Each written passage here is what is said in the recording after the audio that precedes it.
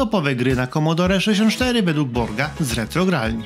Wydany w 86 roku Leaderboard Golf. Szczerze sam nie wiem co było w tej grze, ale po prostu ją kochałem. Ten spokój, opanowanie, relaks, ekscytacja, wszystko to powoli toczące się.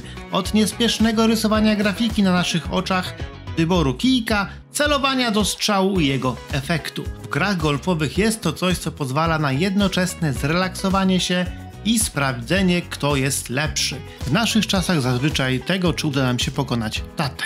Aż nabieram ochoty do grania.